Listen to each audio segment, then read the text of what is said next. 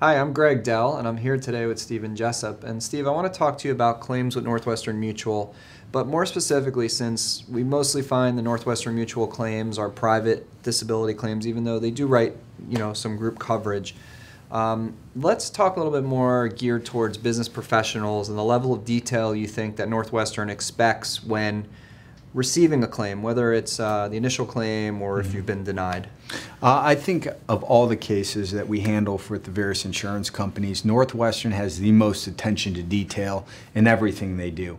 Um, as a business professional, whether you be in the medical profession, legal profession, owning a business, um, there's going to be a lot of information. So outside of the initial claim forms you may get that you have to turn to your doctors that you submit, uh, there's other going to be other aspects that they're really going to scrutinize. They're going to look at you know tax returns, financial statements, if there's billings. I mean, how many times have we seen requests for actual printouts of calendars and logs? Um, so you have to expect that when you are submitting a claim, and Northwestern Mutual is a very, very reputable company, they are very, very detail oriented. So you will need to be able to you know, provide and, and, and come up with a, a bevy of information you wouldn't normally expect, uh, you know, in filing a claim. I think the majority of their requests are, are reasonable and expected. Very much. But they can often be very scary for mm-hmm. a claimant because they're like, hey, you, you sent me the application and you sent me a doctor's form, and why am I getting all these other requests? And then claimants are like, what's going on? Are they taking advantage of me or should they get this stuff? So we know that they're entitled to most of that stuff. Mm-hmm. But it's important that you understand as a claimant what you're giving them, why you're giving it to them, and what exactly you do give them. Because you don't necessarily need to give them mm-hmm. everything. And let's assume you have total versus residual disability. How is that going to impact what's going on with your claim? One of the biggest things when uh, in total disability, a lot of financial reporting requirements will be absent after a certain amount of time. But with residual, if you're saying, hey, I can still work, I have a loss of income, I'm still working, there's going to be a month to month financial analysis where they're going to be looking at pay stubs. Um, if you're a doctor, for instance, what's your, your billing and your profit and loss. So they're going to be looking at a lot of financials. And a lot of times, what ends up hap happening with business professionals, they may be dealing with a, a condition that's affected their ability to work for quite some time. And then only after a while do they think, you know, hey, I have this disability policy, maybe I should look into it.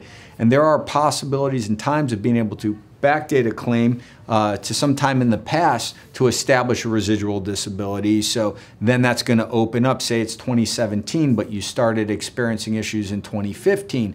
Now Northwestern Mutual may be looking for financials going back to 2012, 2013. Um, so depending on the style of claim you're, you're going to file, there are going to be requests that are going to be different from each one. The other area that I find that Northwestern is very detailed in is in their medical evaluation of mm-hmm. the claim. They're always looking for a pre-existing condition. That's mm-hmm. huge. That's norm. All the companies do that, but they're ex- extremely diligent in doing that.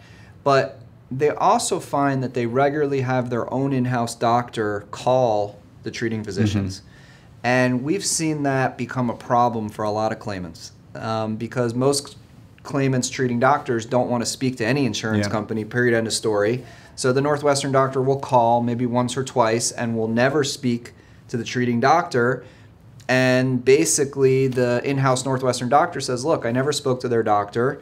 There's nothing to rebut what my opinion is, whether the person can or can't work. Let's assume in this situation, the doctor says the claimant can't work, and the claimant gets denied. Mm-hmm. So I know when we get involved with a claim, how do we deal with that situation?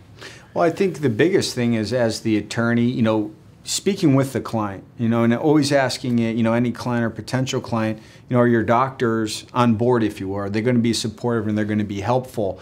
Uh, having a dialogue with the client on how to approach the doctor, even and have that discussion that they may be filing for disability, you know, get it. But I think also, you know, when we are putting out requests, uh, you know, for the doctors, or in a situation where we know Northwestern is going to be trying to communicate with the doctors, uh, preemptively contacting the doctor to explain, you know, what they can expect, you know, going forward, things like that.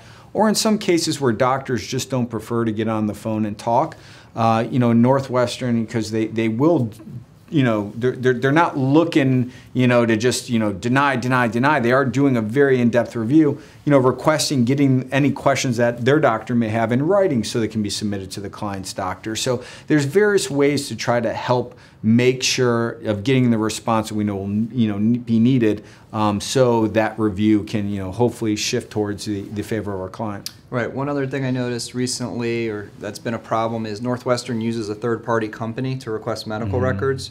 So, like, even though we're sending an authorization, they're you're getting an authorization from some other company, mm-hmm.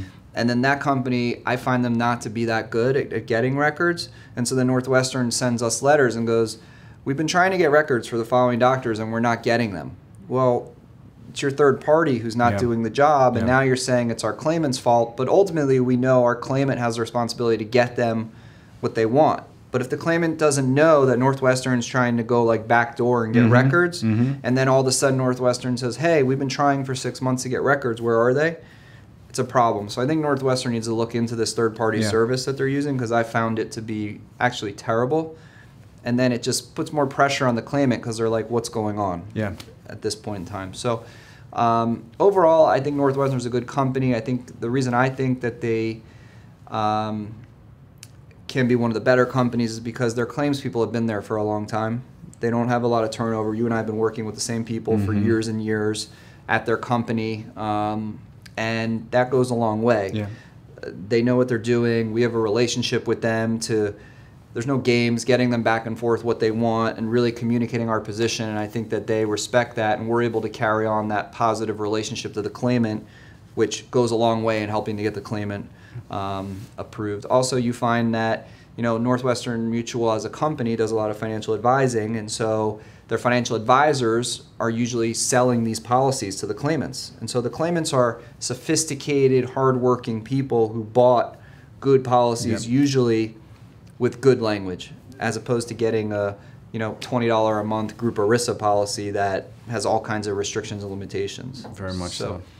No matter what stage you're at with your claim with Northwestern Mutual, feel free to call Stephen or any of the disability lawyers at our law firm. We help clients nationwide and will provide you with an immediate free consultation to let you know if we're able to help you.